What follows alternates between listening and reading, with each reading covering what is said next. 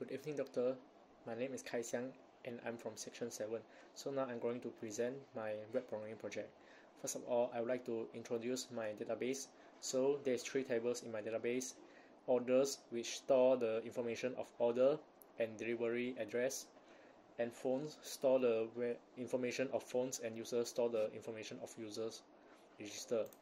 Inside order, there are two foreign keys, which is phone ID refer to phones and ID and user refer to users and username. So this is the template that I have chosen from Start Bootstrap and the theme is Grayscale. So in this template, there is some space for us to insert our image and also some descriptions.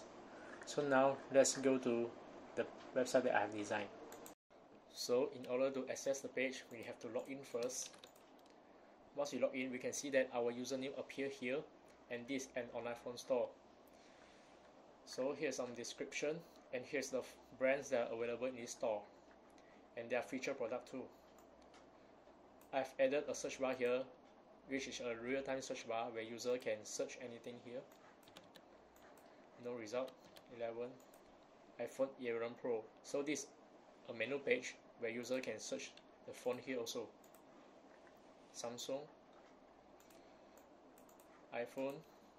Okay let's say I want to order iPhone 11 Pro. I have to input the quantity first. So this subtotal price is calculated in real time. 11 the price will change. And here's a promo code promo code input. So this is the promo code I set before. Is happy.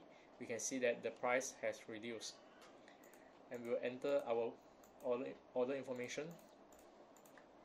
Place order. So order is successful.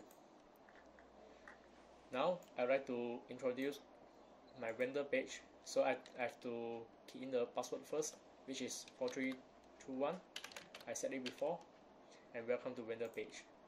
In this page we can see that these two phones are featured and they are in red in color so I, we can update the details here. Anything phone name price quantity description and the image. So let's say we change it to 2000 and we don't want to feature it anymore. And update update was success. If we go to the main page again we will see that the iPhone 11 Pro is no longer here. Uh, we can insert new phone too. Uh, let's say iPhone 12 the price is around 5000 quantity is 100 description A B C. We'll upload a, um, an image insert. So new phone is added.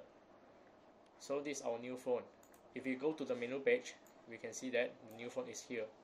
So we can delete it also. So the phone was deleted. Okay.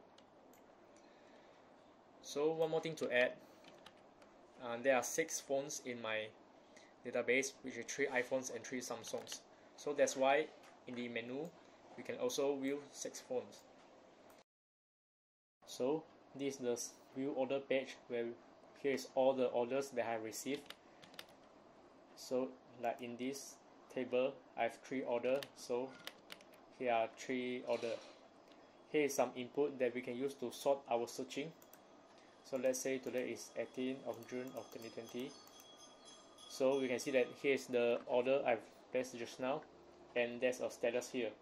So the status now is pending. I can change it to delivered. So once I change it to delivered we refresh in the database the status is changed to delivered too. So if I search with the status pending again there will be no result. If I change it to delivered so here is the delivered order I can change it to complete and research. So this is the completed order. So here's some extra thing that I can view the order summary and it shows my total sales. So it can show my total sales. So let's say I want to search my sales for today 18th of June 2020 search. It, it, so, it shows that um, I've sold 11 iPhone 11 Pro today. I have faced some problem while doing this project. So the first one is in the template given, there's over 10,000 lines of codes in the CSS file, so it's very difficult for me to understand. Besides, I have to understand some jQuery too. So to solve this problem, I have to go to Stack Overflow and Google to find for the solution. So that's all for my presentation. Thank you.